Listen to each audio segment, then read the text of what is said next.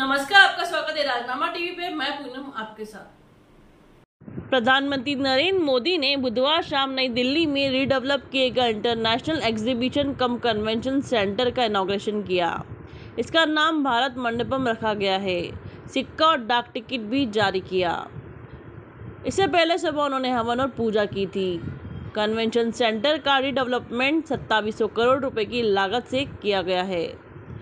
इस convention centre में 9 और 10 सितंबर को 18वीं जी ट्वेंटी बैठक होगी। सरकारी agency India trade promotion organisation यानी आईटीपीओ का यह कॉम्प्लेक्स 123 एकड़ में फैला है। आईईसीसी दुनिया के लीडिंग एग्जीबिशन और कन्वेंशन सेंटर्स में से एक है।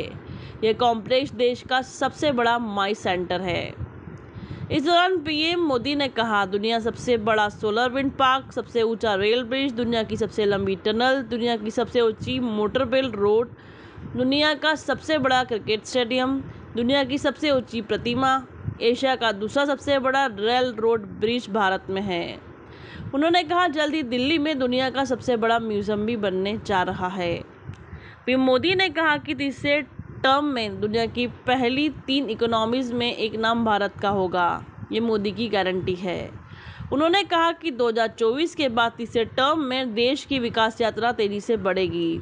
देशवासी अपने सपने अपनी आँखों के सामने पूरे होते देखेंगे।